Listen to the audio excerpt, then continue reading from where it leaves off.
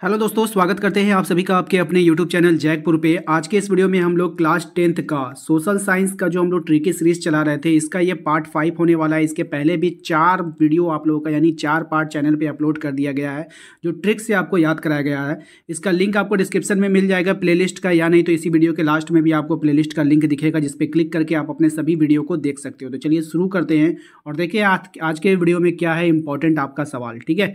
तो चलिए देखिए क्या है सवाल हमारा। सबसे पहले सवाल में आपसे कहा जा रहा है कि निम्नलिखित में से कौन भारतीय स्वतंत्रता संग्राम द्वारा गठित स्वराज्य पार्टी से जुड़े हुए थे?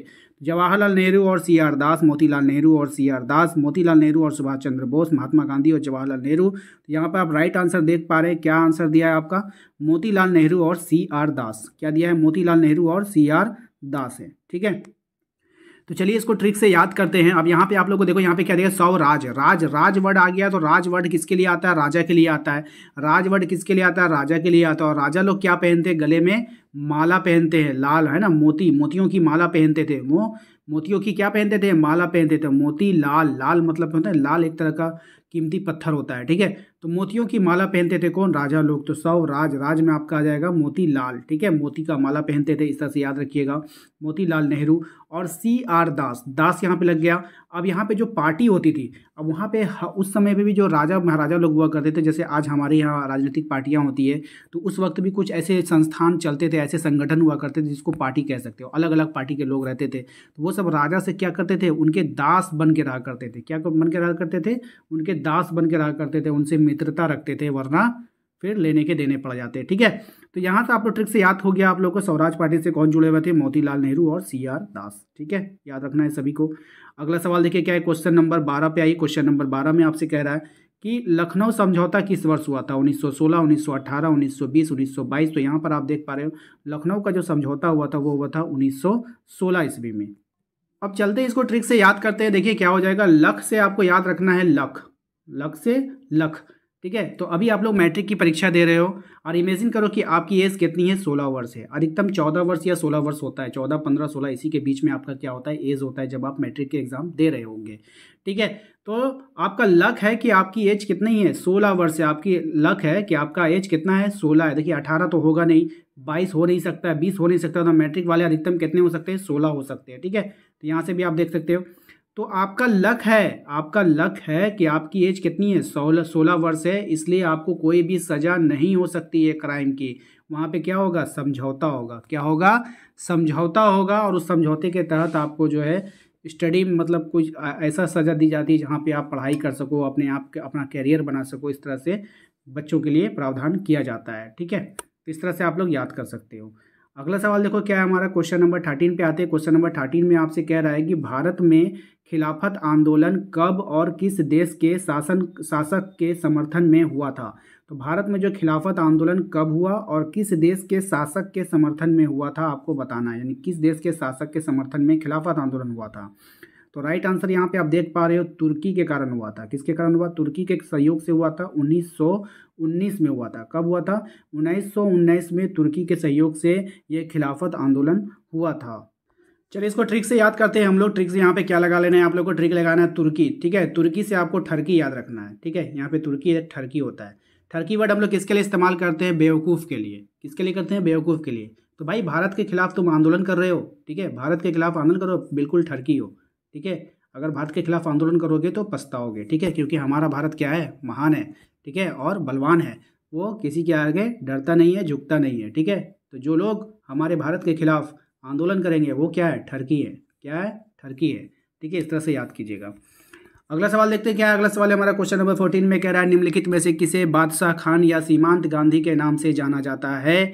सर सैयद अहमद खान, आगा खां, खान अब्दुल गफ्फार खां, महात्मा गांधी। तो राइट आंसर हो जाएगा इसका खान अब्दुल गफ्फार खान। यहाँ पे आप लोग देख पा रहे हो ऑप्शन नंबर सी हो जाएगा खान अब्दुल गफ्फार खान।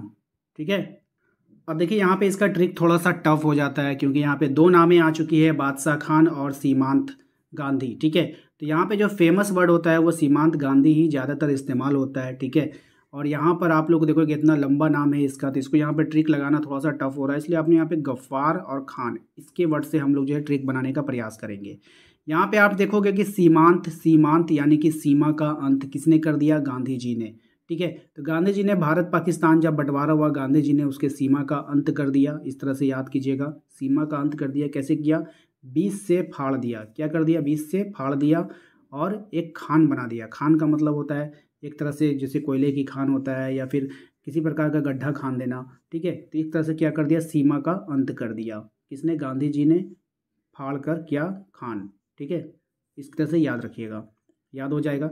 बस थोड़ा सा ट्रिक लगाना है ताकि आप लोगों के एग्ज़ाम में उसको थोड़ा सा हिंट्स मिल सके कि हाँ ये आंसर हो सकता है, इसके अलावा ये नहीं होगा, ठीक है? चलिए, अगला सवाल देखते हैं, क्या है हमारा गांधी जी को महात्मा की उपाधि किसने दिया था? गोपाल कृष्ण गोखले ने, श्रीमती एनी बेसेंट ने, रविंद्रनाथ टैगोर ने या फिर बाल गंगाधर तिलक ने? तो आप देख पा रहे हो, यहाँ पर राइट आंसर हो जाएगा गोपाल कृष्ण गोखले ने। तो गांधी जी को महात्मा की उपाधि किसने दिया था? तो गोपाल कृष्ण गोखले ने। तो भैया, महान आत्मा किसका होगा? कृष्ण का होगा। ठीक है, गोपाल भी उन्हीं को कहा जाता था। ठीक है, सीधी सी बात है। तो किसका होगा महान आत्मा? महात्मा, यानी महान आत्मा यहाँ पे कौन हो सकता है? ठीक है भाई कौन हो सकता है? गोपाल, कृष्ण, गोखले। कृष्ण हो सकते हैं, ठीक है? ये तो इंसान है, ये भी इंसान है, ये भी इंसान है, ठीक है? चलिए।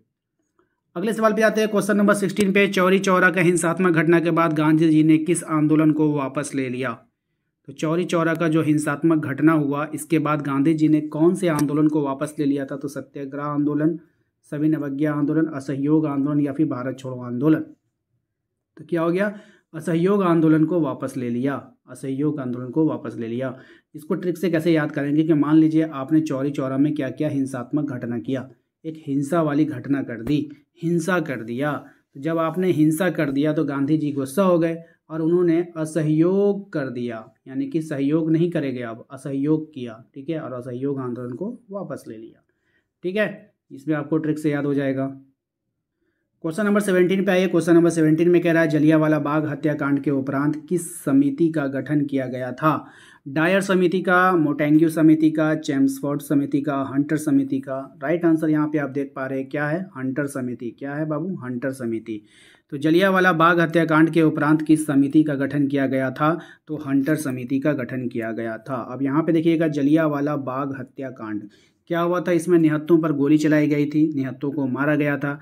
तो मान के चलो किसी ने निहत्तों पे गोली चलाई, मारे तो हम लोग उसको छोड़ेंगे नहीं ना? उसको भी मारेंगे ना? तो किससे मारेंगे हम लोग उसको? हंटर से मारेंगे। किससे मारेंगे? हंटर से मारेंगे। अब उस खोज खोज कर जिसने गोली चलाया था ना, उसको हंटर से मारा जाएगा। तो हंटर समिति, याद रखना है आपको, आंसर हंटर समिति। क्वेश्चन नंबर एटीन पे आते हैं। क्वेश्चन नंबर एटीन में हमारा गांधी जी ने सवज्ञा आंदोलन, सवज्ञा अवज्ञा आंदोलन का आरंभ किस कार्य से किया था? यानी कौन से कार्य से जो ये आंदोलन की शुरुआत हुई थी? तो अमरन अनसन से कैसरे हिंद पदक वापस करके दांडी यात्रा से या स्वाधीनता दिवस मना करके। तो राइट आंसर है यहाँ पर आपका दांडी यात्रा करके। अब यहाँ पे आप ट्रिक लगा सकते हो। यहाँ पे जो अवज्ञा वर्ड है, अवज्ञा यानी आज्ञा का अवज्ञा कर देना। यानी कि आज्ञा आपने, उसने आज्ञा दिया कि नहीं चलना है, यात्रा नहीं करना है, और इनने क्या किया? उसकी अवज्ञा कर दिया। यानी उसकी आज्ञा को नहीं माना। यानी कि दांडी यात्रा करके। ठीक है? यहाँ से ये ट्रिक लगा लेना आप लोग। क्वेश्चन नंबर आते हैं हम लोग। नाइनटीन पे कह रहा है, राजनीतिक गतिविधियों को कुचलने और बिना मुकदमा चलाए जेल में बंद करने का प्रावधान किस एक्ट में था? रॉयल एक्ट में था, वर्नाकुलर एक्ट में था, सैमन कमीशन में था, इंग्लैंड एमरीगेशन एक्ट में था। तो यहाँ पर आप लोग देख सकते हैं रॉयलेट एक्ट में था। किसमें था? रॉयलेट एक्ट में था। राजनीतिक गतिविधियों को कुचलने और बिना मुकदमा चलाए। मतलब कि अगर कोई राजनीतिक मतलब गतिविधियाँ इसका मतलब कोई अगर आंदोलन कर रहा है तो उस पर कोई भी मतलब केस मुकदमा नहीं होगा, डायरेक्ट उसको पकड़ करके जेल के अंदर डाल दिया जाएगा। ठीक है तो उसी को हम लोग कहते हैं रॉयल एक्ट। ठीक है तो इसको हम लोग क्या, कैसे याद कर सकते हैं ट्रिक, यहाँ पे कैसे लगा सकते हो? ट्रिक लगाने के लिए सबसे आसान ट्रिक क्या है? यहाँ पर आप बता सकते हो कि जो इस तरह का जो कानून होता है, बिल्कुल गोल मटोल होता है, ठीक है? इसको कोई समझ नहीं पाया आज तक, ठीक है? यानी कि आप अगर अपनी हक की बात कहोगे ना तो आपको उठा करके जेल के अंदर डाल दिया जाएगा। आप अगर किसी के फ़ायदे के लिए जाओगे बोलने के लिए, भैया, एक गरीब आदमी इसको छोड़ दो, मत मारो तो आपको उठा करके जेल में डाल देगा, ठीक है? अगर आप अपनी आज़ादी के लिए कुछ बोलना चाहोगे तो आपको उठाकर जेल में डाल देगा। यानी कि एक एक एक्ट बनाया गया। तो ये कैसा एक्ट है भाई? ये पूरा गोल मटोल एक्ट है। इसको, इसके कोई मतलब ही नहीं है। इसका कोई समझ समझ ही नहीं है, इसका कोई समझौता ही नहीं है। ठीक है तो इसलिए रॉयल एक्ट रॉयल एक्ट ठीक है रोल रोल का मतलब क्या होता है? गोल ठीक है तो गोल मटोल एक्ट बिल्कुल बनाया गया रॉयल एक्ट ठीक है। अगला सवाल देखिए, क्या है हमारा? क्वेश्चन नंबर ट्वेंटी पे आते हैं। क्वेश्चन नंबर ट्वेंटी में आपसे कह रहा है कि गांधी इरवन समझौता कब हुआ था? तो ये हुआ था, आपका देख पा रहे हो, पाँच मार्च उन्नीस सौ इकतीस को हुआ था। कब हुआ था? पाँच मार्च उन्नीस सौ इकतीस को हुआ था, गांधी इरवन समझौता। तो ये वाला डेट जो है ना, वो काफ़ी इंपॉर्टेंट है। पाँच मार्च उन्नीस सौ इक्कीस इसको अच्छे से याद कर लीजिएगा। कई बार ये सवाल एग्ज़ाम में पूछा जा चुका है तो उम्मीद करते हैं कि आप लोगों को आज का ये वीडियो पसंद आया होगा। वीडियो पसंद आए तो वीडियो को लाइक करके चैनल को सब्सक्राइब कर लीजिएगा, ताकि आने वाली हर एक वीडियो का नोटिफिकेशन आपके मोबाइल पर चला जाए। मिलते हैं अगले वीडियो में।